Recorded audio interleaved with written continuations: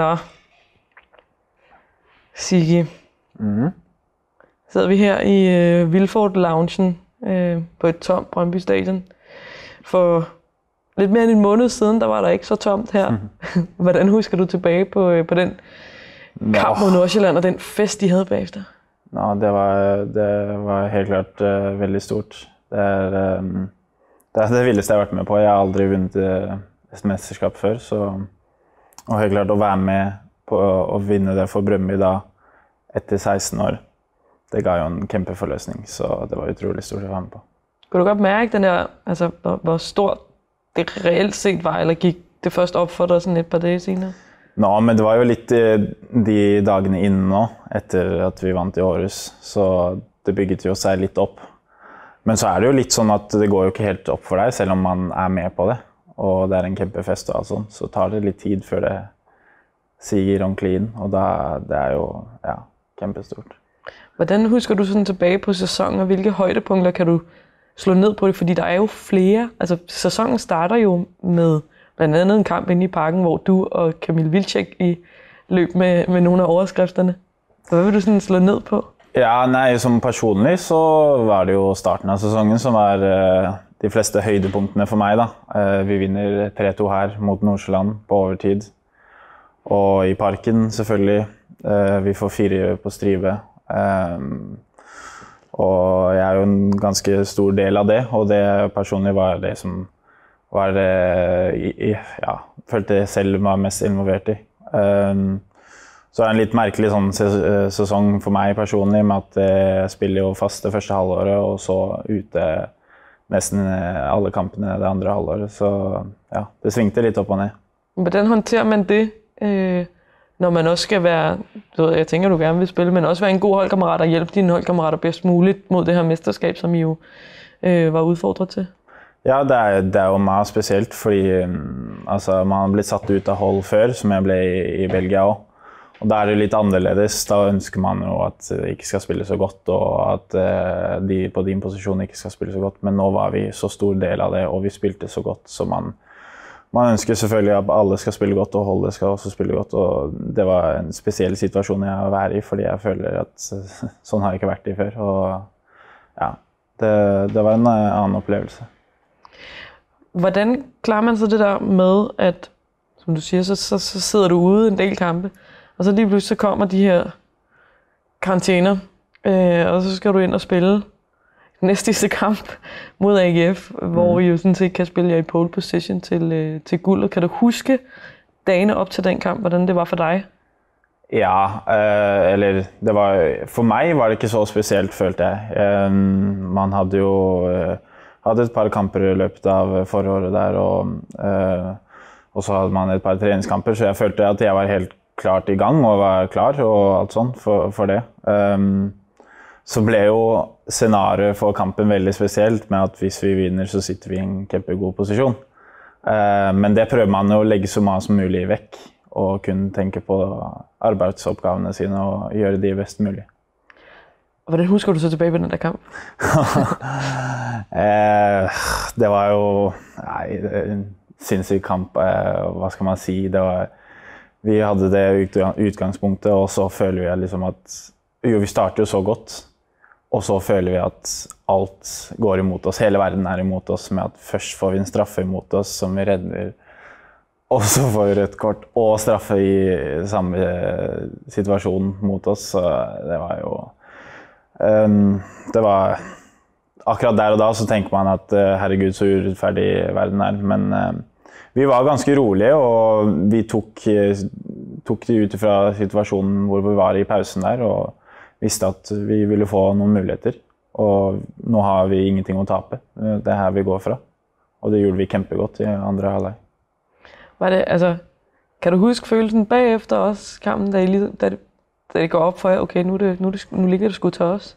Ja, man husker jo at man skal holde litt igjen, for det er stadig en kamp til VM, men det var jo kjempeeufori at vi klarte å vinne der når så mye mot, eh, gikk imot oss, og da Man fikk en sånn deilig følelse, hadde det hele bussturen hjem, og så kom man hjem klokken to om natten hvor det er eh, helt fullt utenfor eh, her oppe. Og ja, det var helt sykt. Jeg har aldri vært med på noe lignende. Øhm, har vi, øhm, nu, nu sluttede du sæsonen sådan lidt op og ned. I forhold til de to år, du har været i Brøndby nu, har vi set det bedste fra, fra Sigurd Råsted endnu? Jeg, jeg er litt sånn Jeg føler ikke at jeg har fått ut potensialet mitt i det hele tatt når jeg har vært her i klubben. Og det føler jeg litt sånn er litt sånn ergerlig at eh, når jeg sitter her og føler selv at jeg ikke har klart å få ut det jeg selv kjenner meg selv som spiller. Så det Ja. Jeg håper jo at jeg klarer å få ut det den sesongen som kommer nå. Ja. Vi, øh, vi skal tale om, øh, om den kommende sæson øh, litt senere. Jeg vil, jeg vil faktisk gerne starte med lige å spole tiden tilbage, fordi hvor startede det?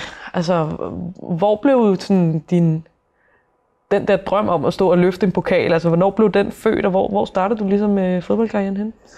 Nei, jeg startet stille og rolig som en dreng eh, i Oslo som, eh, som likte å spille fotball. Hadde med seg fotballen overalt. Eh, Spilte på et lille hold i Oslo.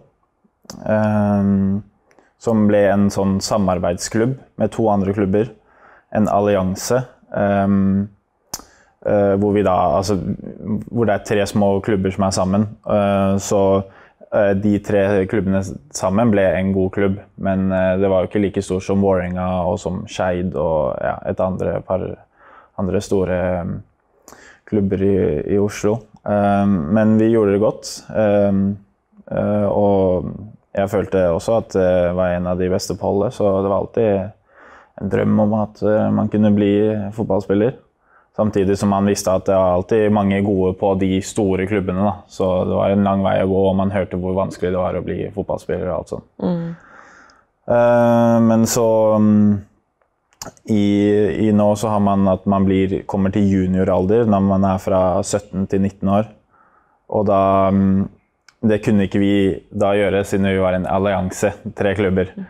Og da skiftet jo hele holdet, som var, det var brukbart godt i, i Oslo-kaliber. Um, noen skiftet til Skeid, noen til Vålerenga, og alt sånn. Og så fikk jeg et tilbud om å gå til en klubb som heter Kjelsås, som har sitt seniorhold i annendivisjon.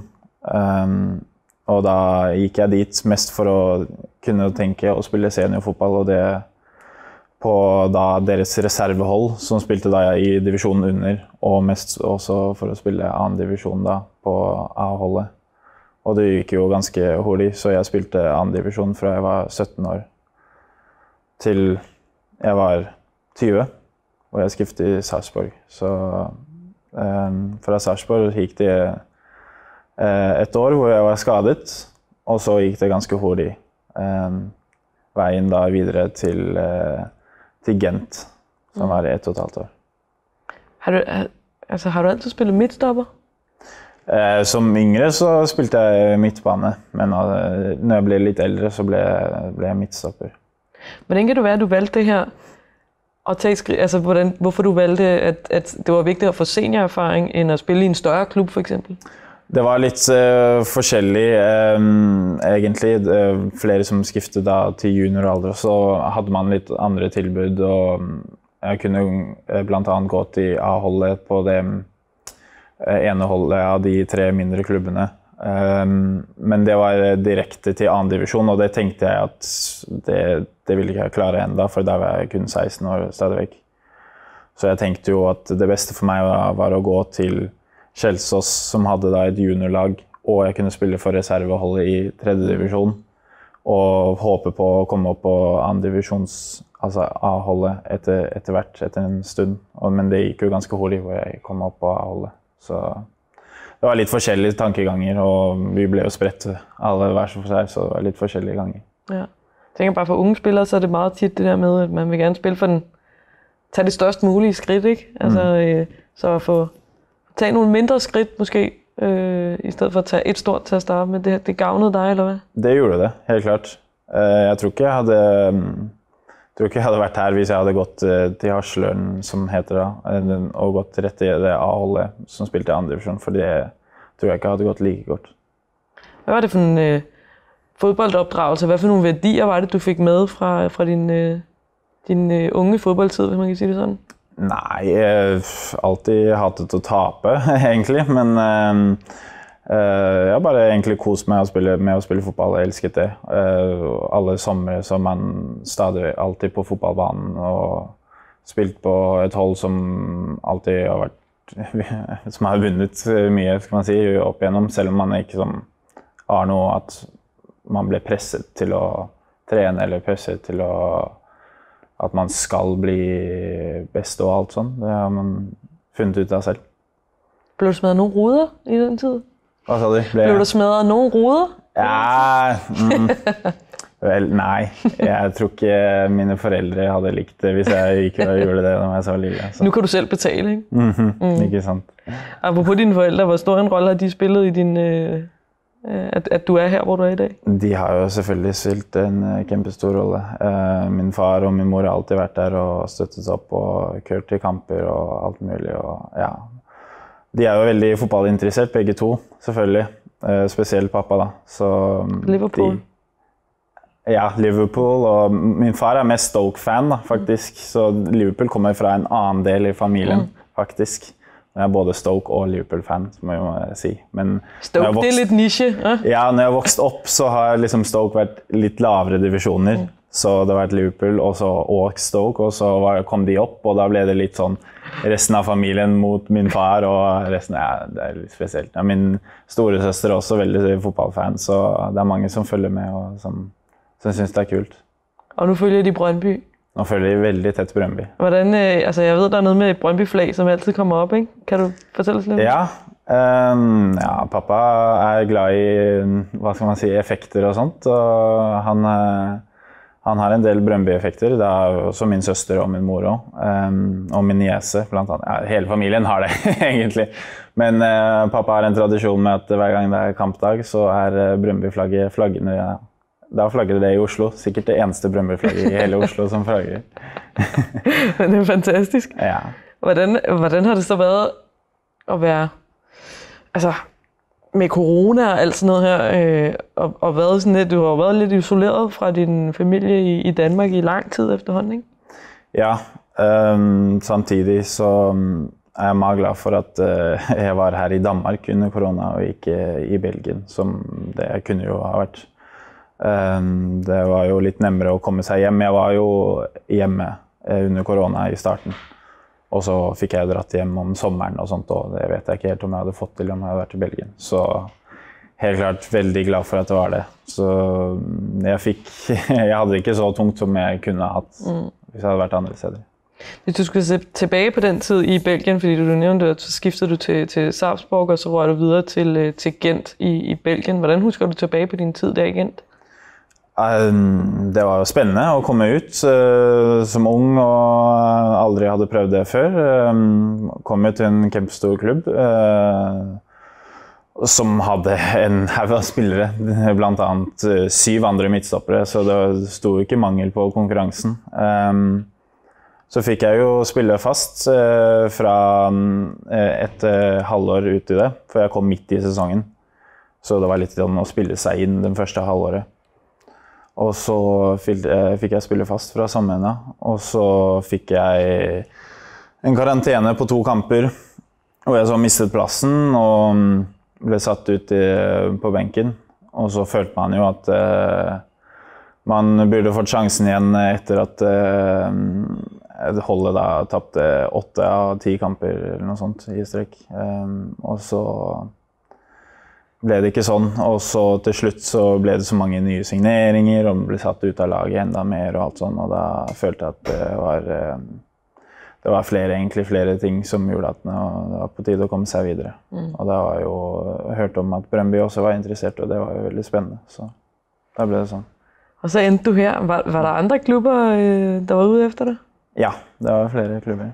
Nogen, vi kan nævne? Andre danske klubber, for eksempel? Eh, nei, ingen andre danske klubber som jeg vet om, men uh, noe i Tyrkia og ja, litt, litt forskjellig. Hvorfor ble du så Brøndby? Altså, hva var det, der tiltalte dig ved det her? Eh, Først og fremst så er det jo en kjempestor klubb, og man har jo hørt, at, uh, man har hørt om fansen. Jeg hadde jo ikke vært på fotballkamp her før, men at det måske er den beste i Norden, og så har man opplevd at det er det jo etter man har kommet dit. Um, og så bo i Danmark og København nå, så også et kjempepluss. Og ja, alt var eh, så til at det var det beste, egentlig. Og så har du fået deg en riktig god ven her i, i Brøndby. Altså, jeg tænker, du er venner med dem alle sammen, men du har, du har et specielt forhold til, til Tobias Børgeid, er det ikke riktig? Jo, det stemmer. Hvordan, hvordan vil du beskrive jeres venskab? Nei, de vi er som eh, storebror og lillebror. Det skifter litt hvem som er storebror og lillebror noen ganger, må jeg si. Men eh, nei, kjempegodt forhold. eh, Som, ja, deilig å ha en annen nordmann her, og vi, vi koser oss hver dag og spiser ofte middag sammen etter efter treninger og ja, har det godt sammen. Det er sjovt, du selv sier det der med storebror, fordi vi har talt litt med Tobias, inden mm-hmm. vi skulle tale med deg i dag. Mm-hmm. Og han sier øh, at mentalt er du 13 år oppe i hovedet. Ja, det kan jeg godt eh, Så- tenke at han sier. Han mener, at han er storebroren i jeres forhold. Det skal jeg helt ærlig, det skifter meg. Jeg, noen ganger så må jeg være litt eh, og lette på humøret til Tobias, og alt sånn, og da kan jeg ta den barnslige rollen. Men andre, på andre punkter så er jeg også helt klart storebror, hvor han er helt uh, forfjamset og ja, ikke helt uh, til stede. Så- Hva er det for noen områder, hvor han er. Nei, litt sånn mer sånn uh, uh, Hva skal man si Han er jo ikke så god hukommelse på ting, og jeg er litt, jeg litt mer som voksensaker, så er jeg den storebroren. Men jeg, jeg er helt enig med han. Jeg kan, være, jeg kan være litt yngre i hodet når det kommer til sånn barnslige ting og sånt. Så, ja. Og så har han også, så har han også fortalt oss noget, du går, hvis du skal til fest, Sigurd. Ja. For eksempel, hvis, øh, hvis du skulle til mesterskabsfest, og du skulle tage noget at drikke med. Hvad vil du så tage med? Ved du det? Tror du, kan du kende, hvad han har sagt? Ja, jeg, jeg tror jeg vet hva han sier, men det er feil. Det er fejl. Det er fejl. Det er, Okay. Ja, det er helt fejl. Så du drikker ikke shaker? Nei, nej, nej. nej. Overhovedet ikke. Det er feil. Ok, jeg har gjort det et par ganger, men jeg kan ikke si, jeg kan ikke ta den at jeg gjør det, fordi da blir han Nei, det stemmer ikke. Det passer ikke. Jeg drikker hvitvin, sier jeg. Mm, ingen shaker. Ingen shaker. Nei, Okay. Tobias. Vi, øh, vi skal lige se lidt frem mod, øh, mod den kommende sæson her, Sigurd, fordi mm. I har jo, jeg har jo sagt farvel til nogle holdkammerater. Hvis du kan fokusere. Ja. ja. Skal du have en shaker, eller? Ja. måske. Eller hvidvin. Kan du hente et glas hvidvin, Ja, Thijs, til ja. Ja. Den kommende sæson her, øh, jeg har sagt farvel til nogle holdkammerater. Øh, I er ikke så mange midtstopper lige pludselig. Øh, ser du det her nu som, som altså, nu er det din chance, nu skal du virkelig ind og, og spille fast? Ja. øh, jeg føler jo også at, øh, som i Åråskampen, at øh, jeg griper sjansen når jeg får den. Og jeg er helt klart uh, klar for det nå. Øhm, det er ikke så mange igjen, som har mistet to. ikke sant? Og ja, litt skadeutsatt, uh, de andre som også er her. Og da man, man tenker jo at uh, nå er man klar for det. Og om det blir fire bak eller tre bak, så det får man se. Vi, jeg syns vi spiller godt i, i, i begge formasjoner. Du føler deg komfortabel i, begge. Ja, Ja. veldig. Så hvor, øh, hvor vigtig er den her preseason for deg personlig? Det er veldig viktig. Jeg har, jeg har nesten ikke hatt noe ferie. håper jeg. Jeg har trent eh, godt i ferien, så jeg var klar for det. Og så ja, jeg har hatt en lille skade nå, men det skal gå fint. Skal man komme seg over. Det er kun to uker tilbake, så det har gått hull i. Ja. Og utsiktene til å skulle spille et europeisk gruppespil med Brøndby, hvordan, altså, det er vel den største gulrot man kan, kan få foran seg, tenker jeg. Ja, virkelig. Det blir virkelig, virkelig show. Og um, ja, det er de to kampene først, og så får man se hva det blir etter. Men eh, det blir jo enten Champions League eller Europa League som det, er. det blir utrolig stort. Og så glæder du deg til å, å se fansene her ute igjen, og på et eller annet tidspunkt inden så forferdelig længe, så med fullt stadion. Ja, det blir, det blir, det blir deilig. Det var jo um, fantastisk å ha tilbake de siste kampene vi hadde nå. inn. Og så også nå blir det jo vel også helt fullt fra august, er det ikke det? Ja. ja, det blir fantastisk. Det blir bra. Og udebanefans igjen også. Ikke sant? Det blir deilig å vinne i parken med utebanefans der. Det, det, var litt, det var litt skuffende sist at vi måtte juble for tomme stadioner. Det hadde vært litt deiligere å bli kasta øl etter og blitt bua på, eller når man også jubler foran Brøndby-fansene. Det hadde vært eh, Og så gidder du heller ikke sparke den på stolpen neste gang, hvis der er egne fans med, så sparker du den i nettet, ikke? Neste gang skal den inn. Tak for det, Helt Sigurd.